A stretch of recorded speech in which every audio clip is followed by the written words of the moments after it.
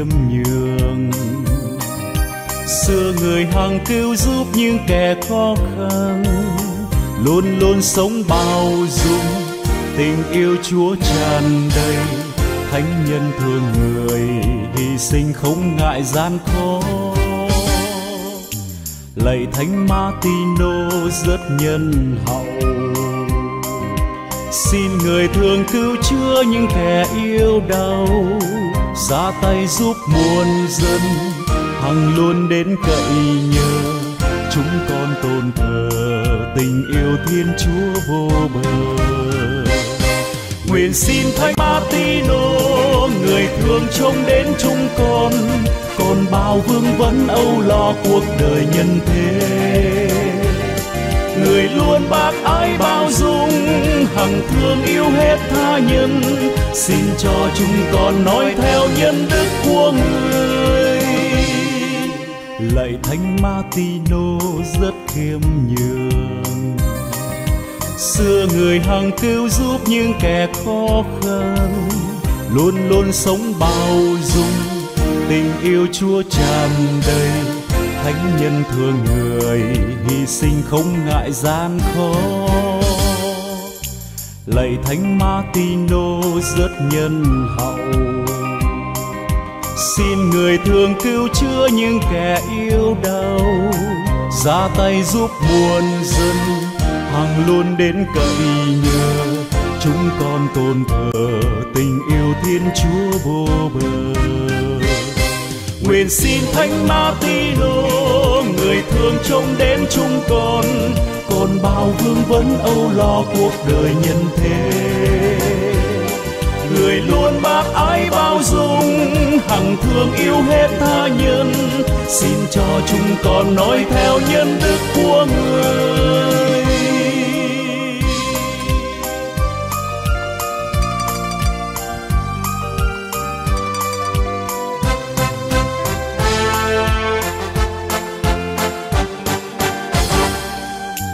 Lạy thánh Martino rất khiêm nhường. Xưa người hằng cứu giúp những kẻ khó khăn, luôn luôn sống bao dung. Tình yêu chúa tràn đầy, thánh nhân thương người, hy sinh không ngại gian khó. Lạy thánh Martino rất nhân hậu xin người thương cứu chữa những kẻ yêu đau. Ra tay giúp muôn dân, hằng luôn đến cậy nhờ. Chúng con tôn thờ tình yêu thiên chúa vô bờ. Nguyện xin thánh Martino, người thương trông đến chúng con. Còn bao vương vấn âu lo cuộc đời nhân thế luôn bác ái bao dung, hằng thương yêu hết tha nhân. Xin cho chúng con nói theo nhân đức của người. Xin cho chúng con nói theo nhân đức của người.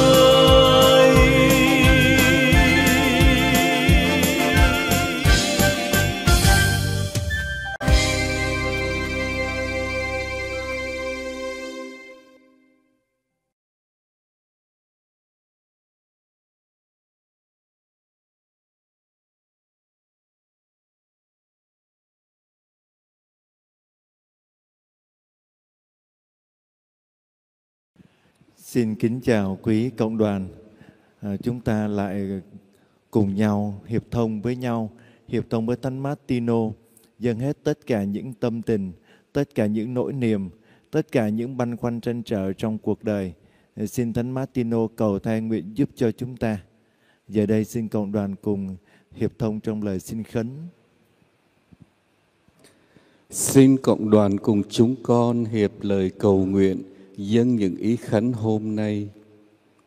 Xin Chúa xua tan dịch bệnh. Xin cho hai bà cố được chữa lành bệnh Covid. Một gia đình bốn người đang nhiễm bệnh Covid xin ơn chữa lành. Xin chữa lành bệnh ung thư. Xin ơn hoán cải. Xin ơn đi tiêm ngừa được bình an. Xin tạ ơn, xin như ý.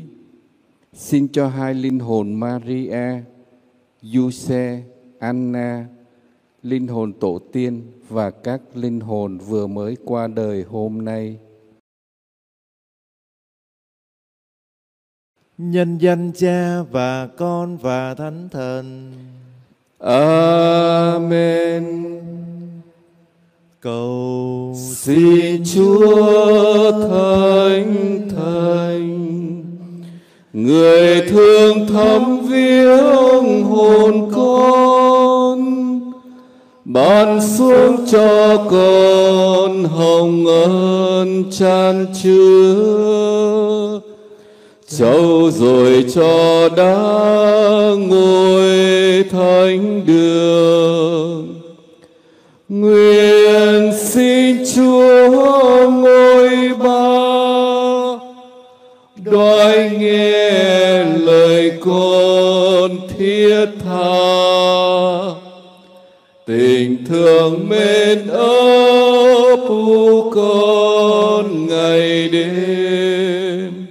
Nhuận thân xác hồn tràn lan ơn thiêng.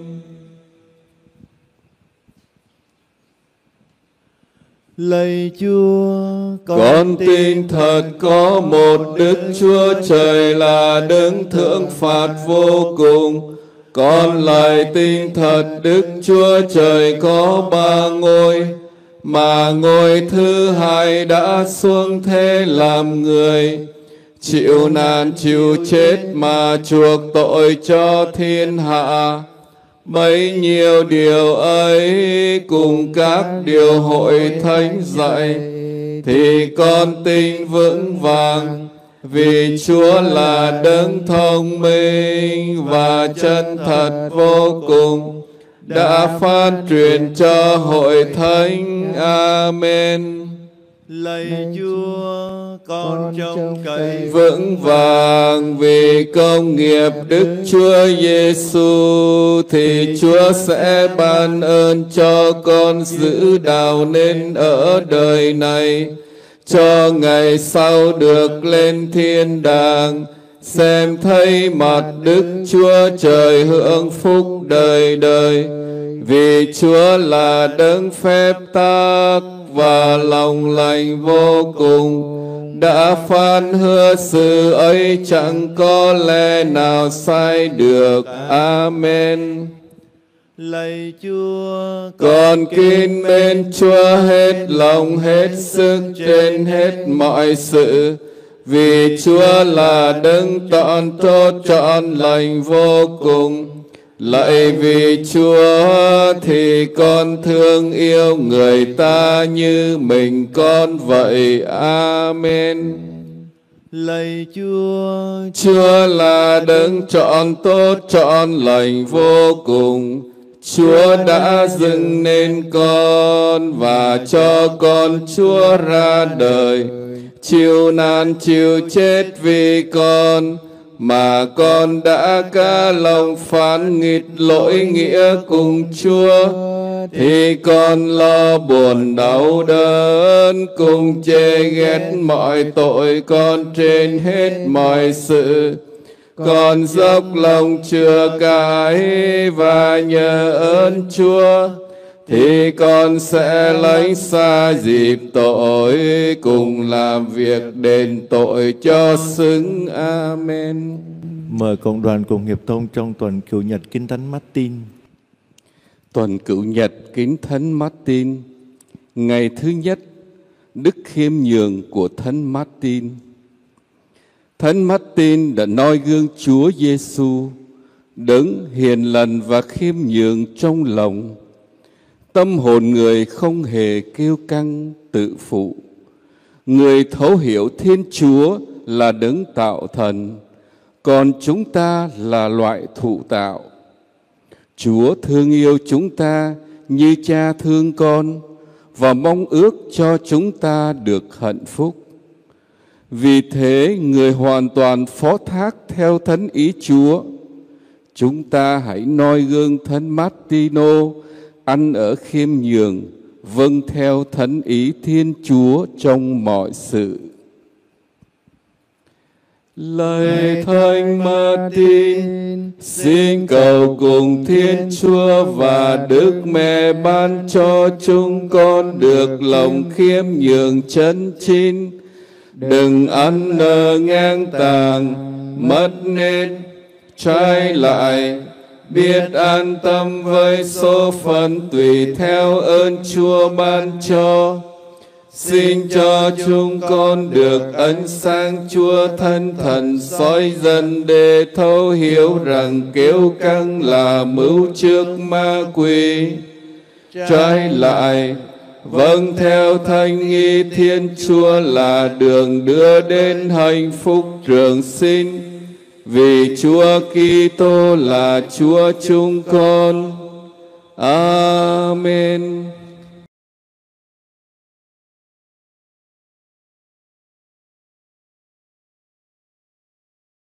Lạy cha chúng con ở trên trời, Chúng, chúng con nguyện dẫn cha cả sáng nước cha chỉ đến, ý cha thể hiện dưới đất cũng như trên trời. Xin cha cho chúng con hôm nay lương thực hàng ngày và tha nợ chúng con như chúng con cũng tha kẻ có nợ chúng con. Xin chớ để chúng con sai trước cam dỗ, nhưng cứ chúng con cho khỏi sự dữ. Amen. Kính mừng Maria, đầy ơn phúc Đức Chúa Trời ở cùng bà. Bà có phúc là hơn mọi người nữ và Giêsu con lòng bà gồm phúc là Thánh Maria Đức Mẹ Chúa Trời cầu cho chúng con là kẻ có tội khi khi nay và trong giờ lâm tử. Amen. Kính mừng Maria đầy ơn phúc Đức Chúa Trời ở cùng bà.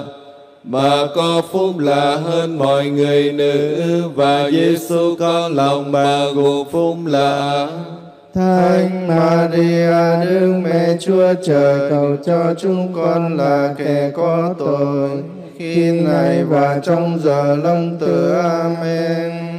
Kính mừng Maria đầy ơn phúc Đức Chúa Trời ở cùng bà. Bà có phúc là hơn mọi người nữ và Giêsu con lòng bà gồm phúc là Thánh Maria Đức Mẹ Chúa Trời cầu cho chúng con là kẻ có tội khi này và trong giờ lâm tử. Amen. Kính mừng Maria đầy ơn phúc Đức Chúa Trời ở cùng bà. Bà có phúc là hơn mọi người nữ và Giêsu con lòng bà gồm phúc là Thánh Maria Đức Mẹ Chúa Trời cầu cho chúng con là kẻ có tội khi này và trong giờ lâm tử. Amen. Kính mừng Maria đầy ơn phúc Đức Chúa Trời ở cùng bà. Bà có phúc là hơn mọi người nữ và Giêsu con lòng bà gồm phúc là Thánh Maria Đức Mẹ Chúa Trời cầu cho chúng con là kẻ có tội khi này và trong giờ lâm tử. Amen. Kính mừng Maria đầy ơn phúc Đức Chúa Trời ở cùng bà. Bà có phúc là hơn mọi người nữ và Giêsu con lòng bà gồm phúc là Thánh Maria Đức Mẹ Chúa Trời cầu cho chúng con là kẻ có tội khi này và trong giờ lâm tử. Amen. Kính mừng Maria đầy ơn phúc Đức Chúa Trời ở cùng bà. Bà có phúc là hơn mọi người nữ và Giêsu con lòng bà gồm phúc là Thánh Maria Đức Mẹ Chúa Trời cầu cho chúng con là kẻ có tội khi này và trong giờ lâm tử. Amen. Kính mừng Maria đầy ơn phúc Đức Chúa Trời ở cùng bà. Bà có phúc là hơn mọi người nữ và Giêsu con lòng bà gồm phúc là Thánh Maria Đức Mẹ Chúa Trời cầu cho chúng con là kẻ có tội khi này và trong giờ lâm tử. Amen. Kính mừng Maria đầy ơn phúc Đức Chúa Trời ở cùng bà. Bà có phúc là hơn mọi người nữ và Giêsu con lòng bà gồm phúc là Thánh Maria Đức Mẹ Chúa Trời cầu cho chúng con là kẻ có tội khi này và trong giờ lâm tử. Amen. Kính mừng Maria đầy ơn phúc Đức Chúa Trời ở cùng bà. Bà có phúc là hơn mọi người nữ và Giêsu con lòng bà gồm phúc là Thánh Maria, Đức Mẹ Chúa Trời, cầu cho chúng con là kẻ có tội khi này và trong giờ lâm tử. Amen. Sáng danh Đức Chúa Cha và Đức Chúa Con và Đức Chúa Thánh Thần. như đã có chưa vô cùng và bây giờ và hằng có và đời đời chẳng cùng. Amen. Chúng con cậy vì danh Chúa nhân từ cho các linh hồn được lên chốn nghỉ ngơi hằng xem thấy mặt Đức Chúa Trời sáng láng vui vẻ vô cùng. Amen. Mời cộng đoàn đứng chúng ta nghe tin mừng.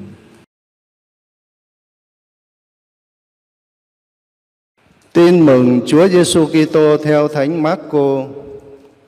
Khi ấy, Đức Giêsu và các môn đệ rời Bethsaida để đi tới các làng xã vùng Caesarea Philippe.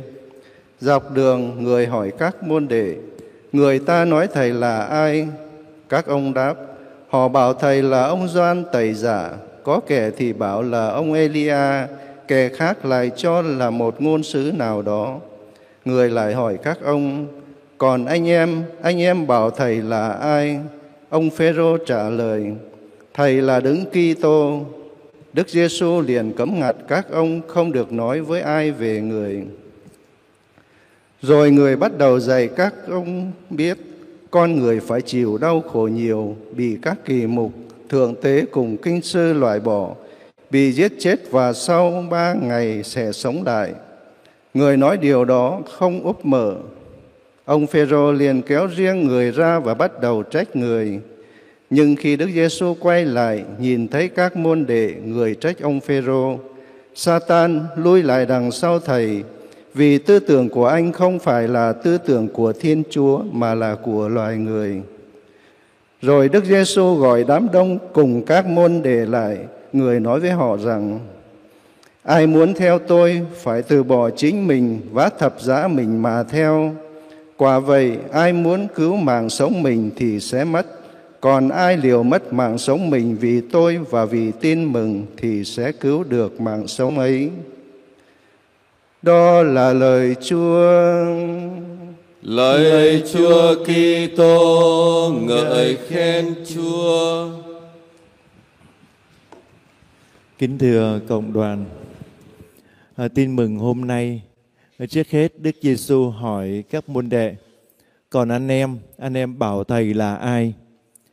Phêrô không ngần ngại tuyên xưng rõ ràng thầy là đấng Kitô.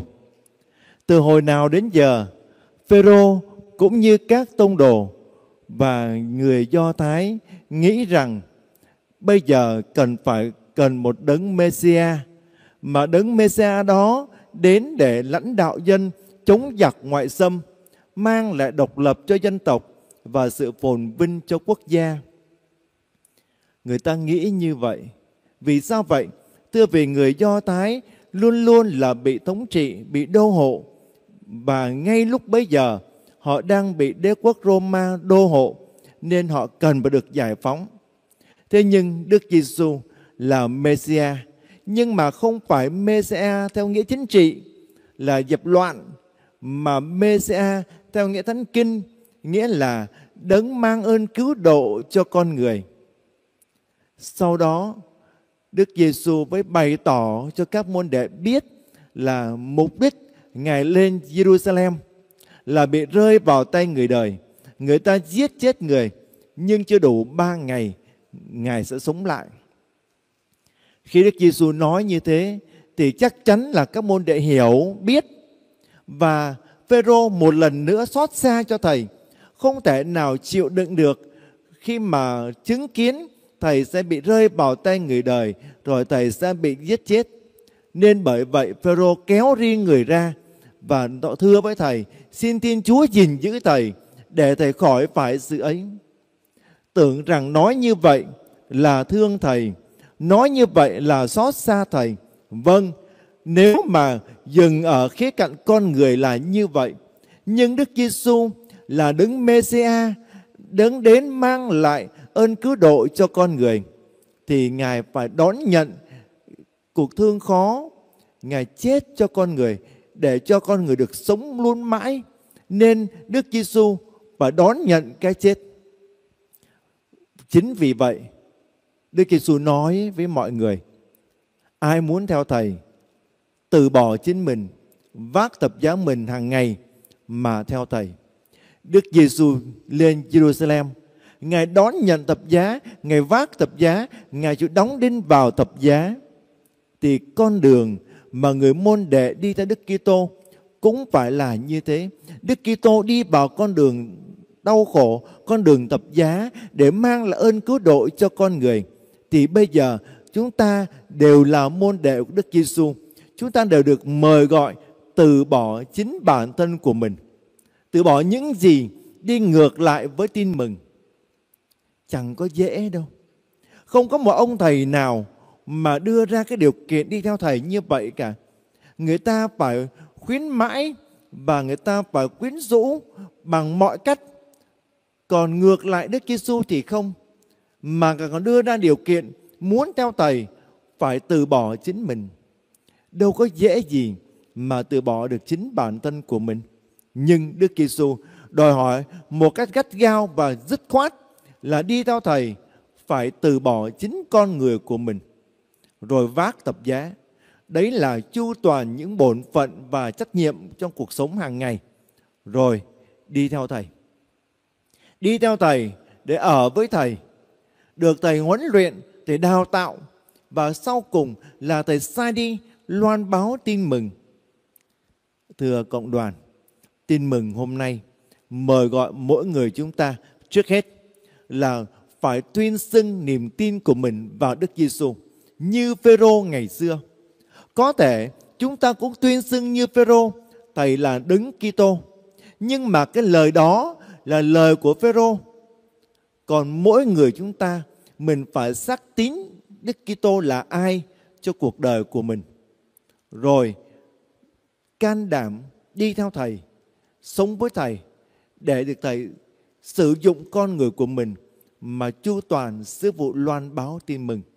Xin cho mỗi người chúng ta biết quảng đại và can đảm với Thầy Giêsu và với cuộc đời này.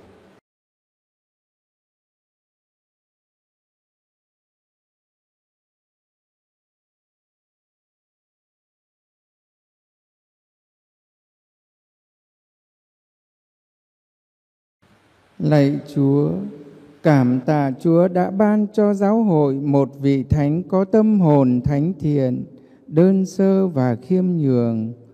Suốt cuộc đời, Thánh Martin đã noi gương và hòa lại hình ảnh của Đức Giêsu là đấng hiền lành và khiêm nhường trong lòng.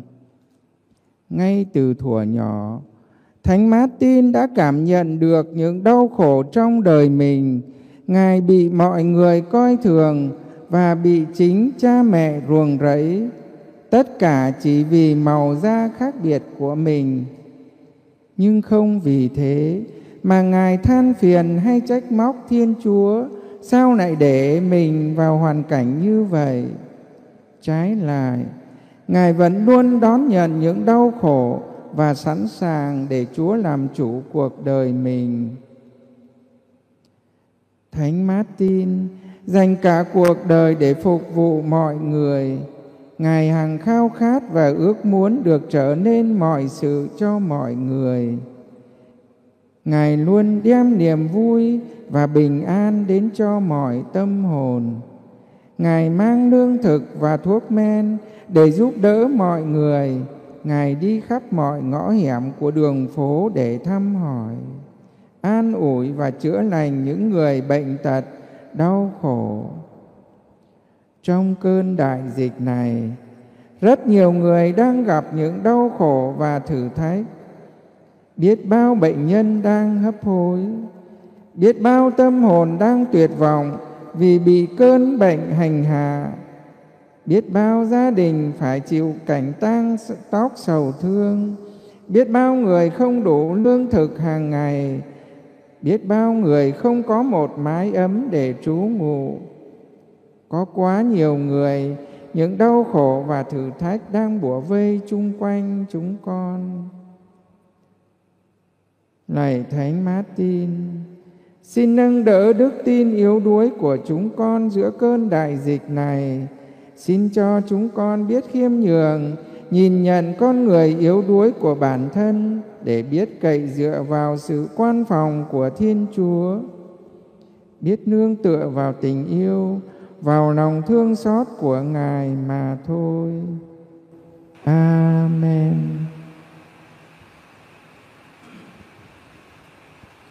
Chúng ta cùng hướng về Thánh Martino và cùng dâng lên Chúa tất cả những nỗi niềm của chúng ta.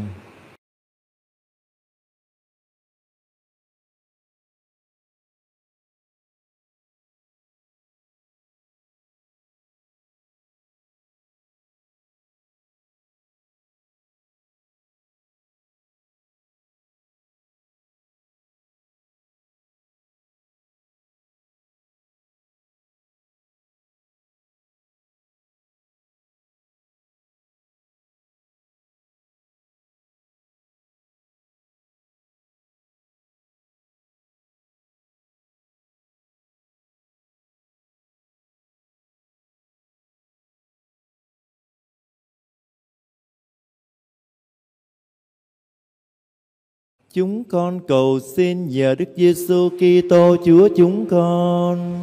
Amen.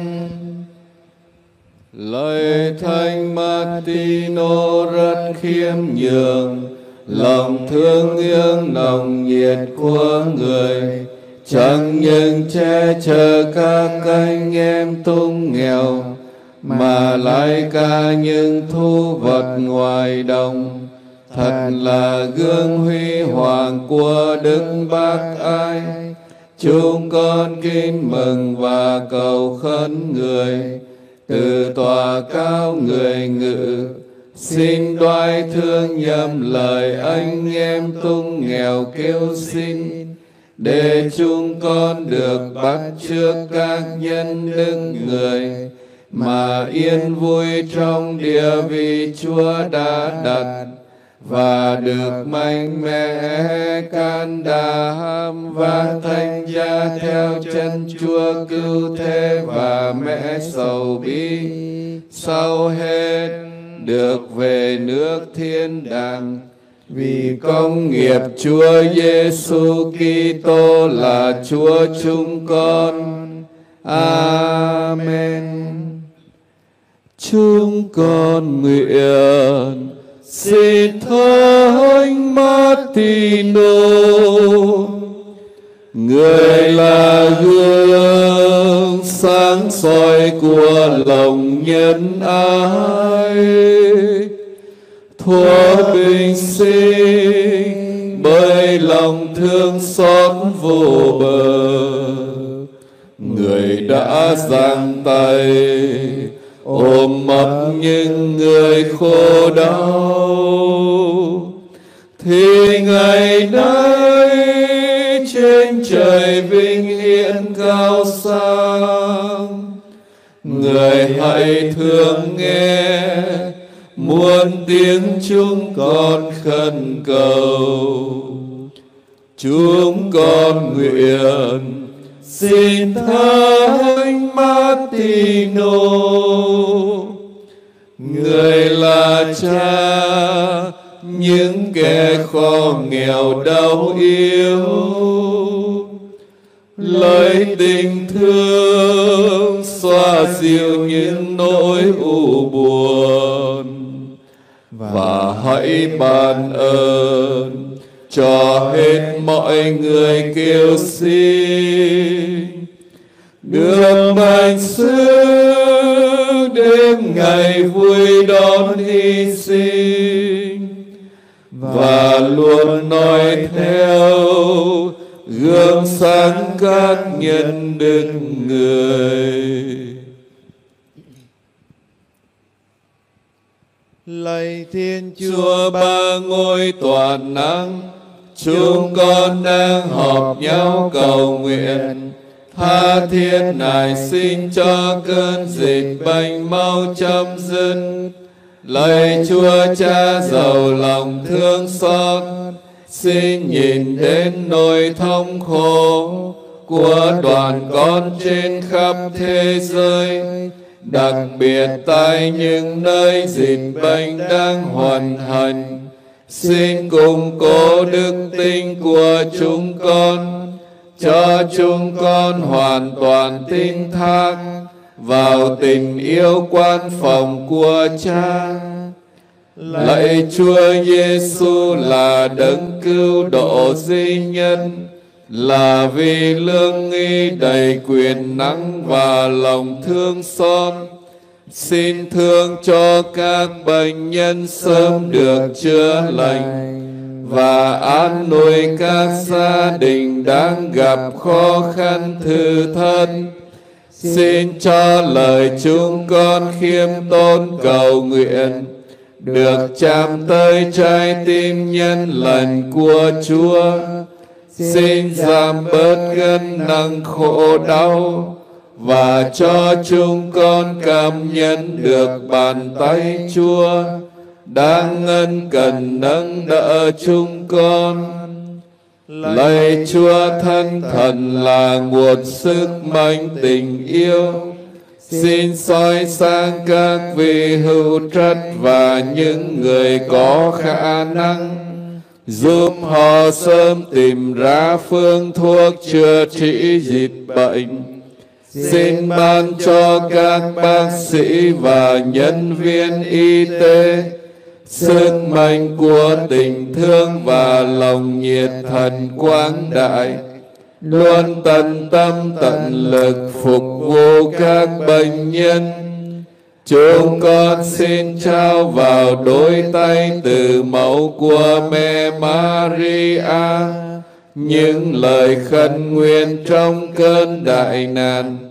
Nhờ lời Đức Mẹ chuyên cầu xin Chúa nhân lời chúng con. Amen. Con cảm ơn Đức, Đức Chúa Trời là Chúa lòng lành vô cùng. Chẳng bỏ con chẳng để con không đời đời mà lại sinh ra con cho con được làm người cùng hàng gìn giữ con hàng che chở con lại cho ngôi hai xuống thế làm người. Chuộc tội chịu chết trên cây thánh giá vì con. Lại cho con được đạo thánh đức chúa trời. Cùng chịu nhiều ơn, nhiều phép hồi thánh nữa.